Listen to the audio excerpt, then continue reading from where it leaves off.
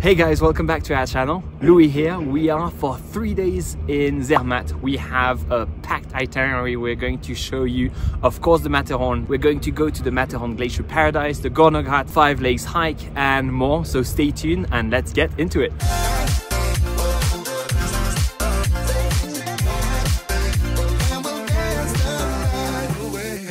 So when you arrive in Zermatt by train, you're going to be right in the heart of the village, and there's so many shops and restaurants and cafes and things to explore. As you can see, it's very, very lively. So I definitely recommend spending a couple of hours here. My recommendation though was not to do it on Sunday because the shops will be closed, the restaurants will be open. But we're here on a Friday and we're just going to walk around, explore, and show you some things we like in the village.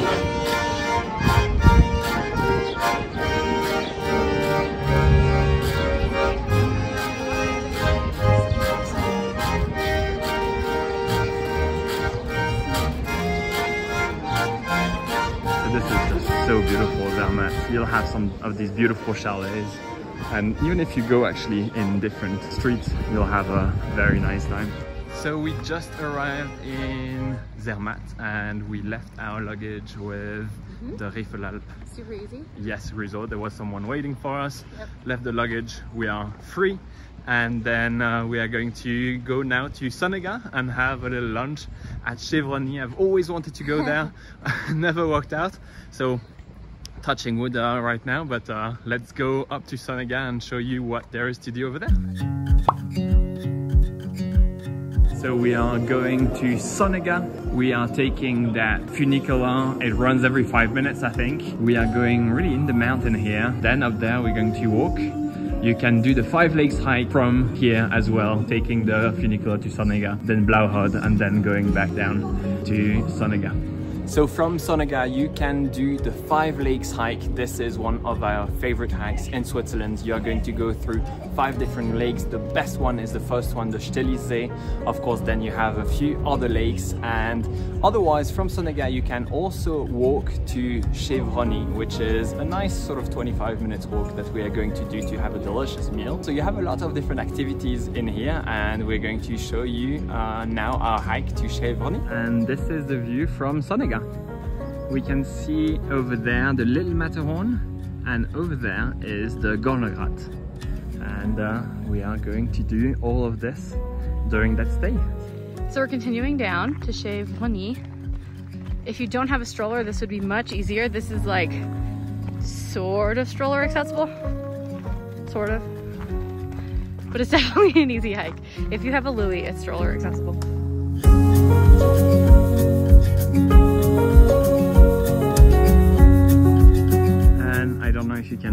Can spot it. I spotted it. There's a little marmot there. And this is what you hear. Oh yeah, two.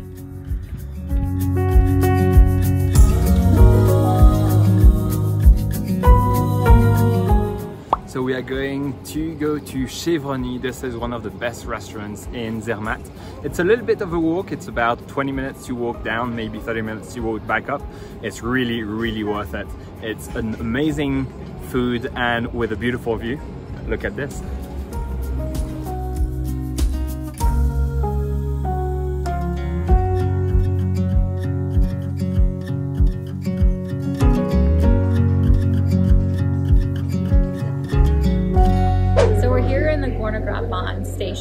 Right across from the station in Zermatt. And we'll get to know this very well because our hotel is actually up the mountain. It's the Riffelalp Resort. So we go up, not all the way to the Gornergrat, but we do go up with this train.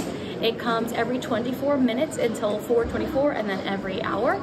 So we're gonna head up now and check out our resort. And this is the Gornergrat train.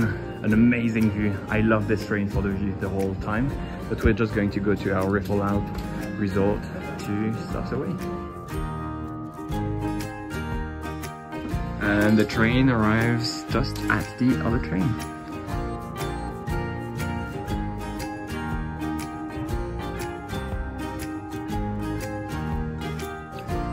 So we arrived with our tiny train after the Gornergrat and uh, here we are in our Riffelalp resort and our daughter is very happy. Headed to the pool it's closing at 8 I think. Look at this, very fancy little slippers This, our daughter received the cutest thing actually. we love it. So cute. Yeah. Such a nice little But touch. it's a great vibe actually and uh, Yeah. let's show you the swimming pool. Louis and our baby are about to go in. This is the highest outdoor pool in Europe, and dare I say, it's the pool with the best view.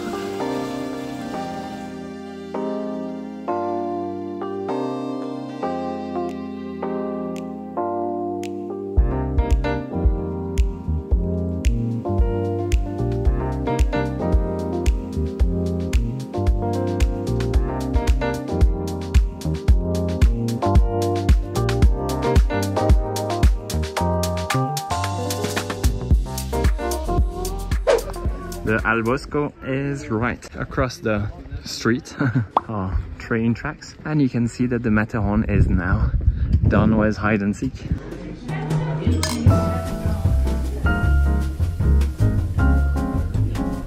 Also a potato. Incredible. And now we are, look at this. This is gold. Oh. This is, this is amazing actually. This is crispy. This is what you have at the end of the fondue. Mm. And the fondue was amazing too. I loved it.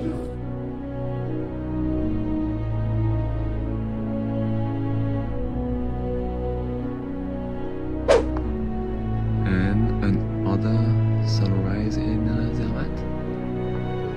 Is that the usual pink? So from the train station of Zermatt or the Gornergrat train to the Matterhorn Glacier Paradise, it's about 20 minutes walk to go to the gondola. You can walk, you can take a bus. It doesn't run that often, so we're just gonna walk and explore beautiful Zermatt a little bit more. So you can walk either by the water here, this is uh, the least elevation you'll have, or you can go in the village and then walk back down. This is, yeah, about a 15-20 minute walk to go to the gondola station. You can also take a taxi like this one, but here you go. We go there and then it will be over there to take our gondola. And here it is. The station to go to the Matterhorn Glacier Paradise. It was probably 15 minutes, not that much.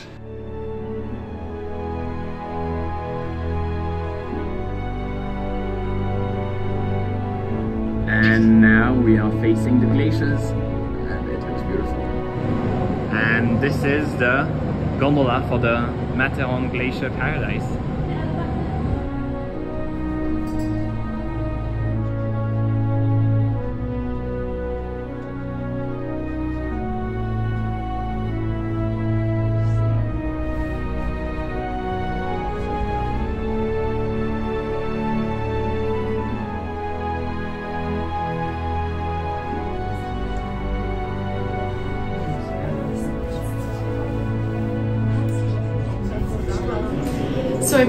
Top of Glacier Paradise. It is 3,883 meters. That is the highest station you can get to in Europe. So if you're thinking, that sounds higher than the top of Europe, it is by 400 meters. So this is the highest I have ever been. It is cold, I'm out of breath. So pack layers, take your time. If you have kids, this altitude is probably not the best.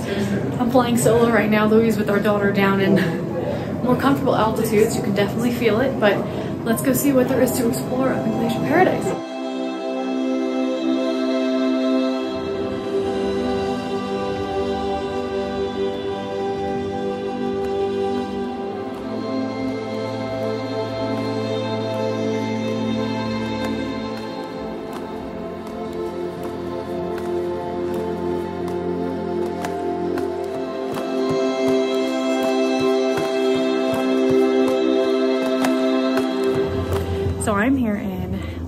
July and I'm wearing a cashmere sweater and a denim jacket and I am absolutely freezing up in Glacier Palace. So definitely, definitely bring layers because you'll need them. It's okay. You can see my nose is red. Just super, super cold.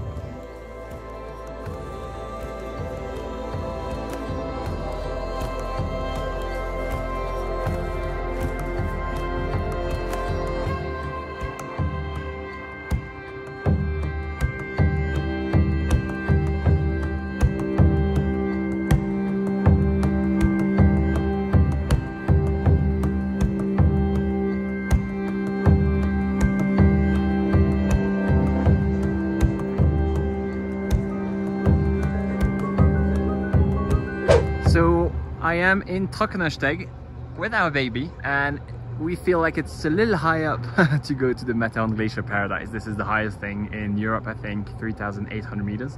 But I'm gonna walk there next to the station because it feels like you're in the moon in here and I wanted to share this with you. So I'll let Alexis enjoy the Matterhorn Glacier Paradise and I'll take you into my hike.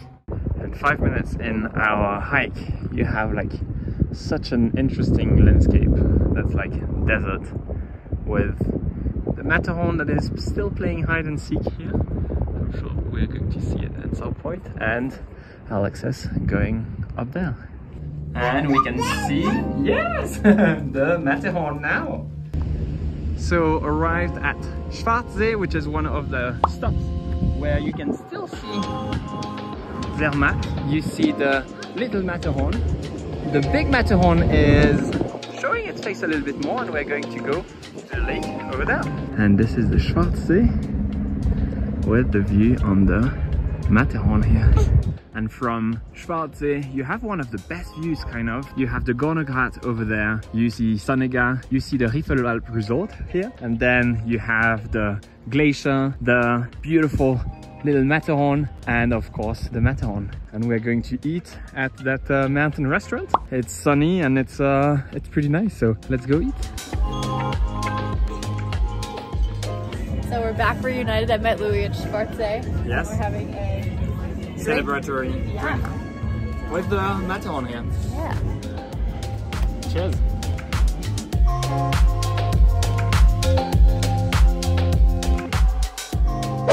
So we arrived back in Zermatt and we see these very cute goats and uh, they're also offering to let people try Alphorn, which is fun. And we are going to go upstream for about 10-15 minutes and go see the Gorner Gorge. There you go. Gorner Gorge. You can see that it might be interesting. it's like five minutes uphill and then you have that little tickets office. We can always stay a little longer. We don't have a plan. Just let me live a little younger than I really am.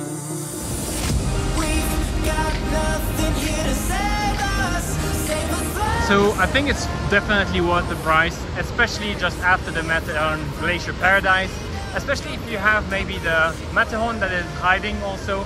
You don't really try to see the Matterhorn. This is mostly the gorge and the canyon. So definitely cool. Maybe good to try the little hike after, but I liked it already. So on the way back, we are walking down the river. It also works perfectly. So you have these two paths to go to Zermatt. Good morning, everyone. I think the last thing we showed you last night was the Gorner Gorge, and then we just headed back to our hotel, had some room service, and had a night in. We just chilled. Now we're having a little bit of breakfast in the hotel and getting ready because today, our last day here, we're gonna go to the Gornergrat. So we're gonna see some of the stops on the way up, and of course, head all the way to the top at about 3,000 meters. So let's go.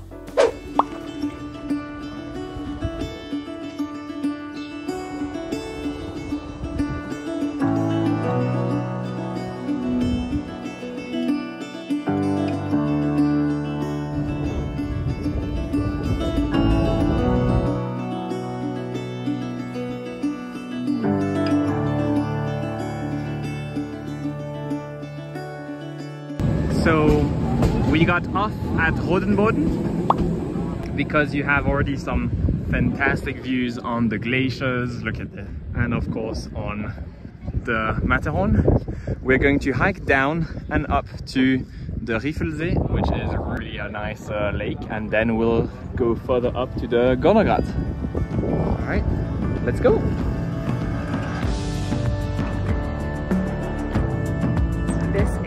Beautiful Riffelsee. If it wasn't windy, you'd see the reflection of the Matterhorn, but even still, it's just absolutely amazing. So we walked down mid-afternoon on the weekend, and you can see this is kind of the amount of people that you can expect. It's not super, super busy, but there's people here. However, now on Sundays, they have a sunrise train and that you will have a beautiful sky. The Matterhorn gets like a golden color on the top piece of it during sunrise and then you'll have very, very few people. So that's if you really want to enjoy this kind of to yourself. So if you want to be a more efficient traveler than what we are, we've kind of been doing one major activity a day because we're traveling with the 15 month old. She has to take naps and things like that. And we're just going a little bit slower but if you're only here for a few days and you really want to see as much as you can, you could take a gondola from Riffelberg, that's on the Gornergrat line, to Furi, and that's on the line that goes up to Glacier Paradise. So you don't need to go all the way down to Zermatt and then all the way back up from Zermatt. You can kind of connect the intermediary stations between those two. So that saves a lot of time, and that's good if you want to do Glacier Paradise and Gornergrat in the same day. So if you want to do two of those cool peaks back to back. And from Rotenboden, there is the train.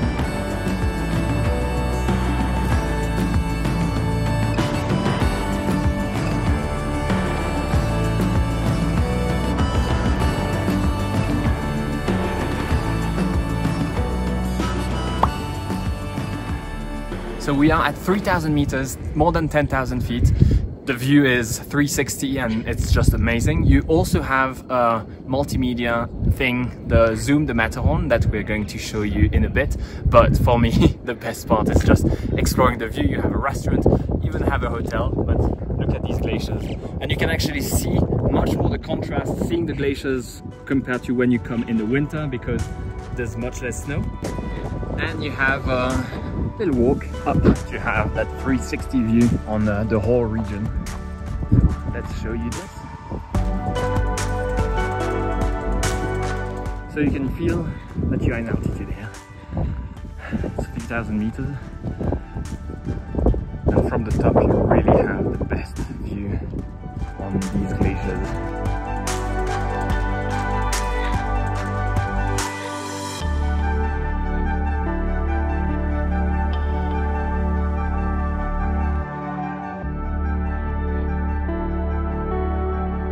So here I'm really on the top of the Gornergrat. You can see so many peaks. Of course you have the Matterhorn here, but you also have the Dent Blanche and the Weisshorn here, I think. And of course behind me in here you have the Dufourspitze, which is the highest mountain in Switzerland, 4,600 meters and 34, I think and, uh, and just so many glaciers. So I'm right in front of Zoom the Matterhorn, which is an all new immersive VR experience. You might think that you need to buy a separate ticket, but if you have a ticket that goes all the way up to the Gornergrat, it's included, so make sure not to miss out on this. This is a really cool virtual experience. You see a really nice movie before, and then you sit in hanging chairs, and you have a VR experience like you're paragliding over the Matterhorn. So if you're not going to paraglide, you're not to that level of adrenaline, but you want to feel like you are. This is a really good opportunity to do it. So let's go in and check it out. Alright, this was great. I really recommend it. Especially now, even with that VR experience that is uh, included. That's really cool. Alright, thank you so much for watching. This was a blast. We have, if you're interested, a five days itinerary guide from Zermatt. I wrote the whole thing and you have a lot of details about Zermatt if you are interested in it. It's on our website. But this is it for us guys. We'll leave you here and see you in the next video. Bye guys. Hey guys, thanks for watching. Thanks for watching. If you want to see more videos like this, please make sure to like and subscribe. We'll see you soon.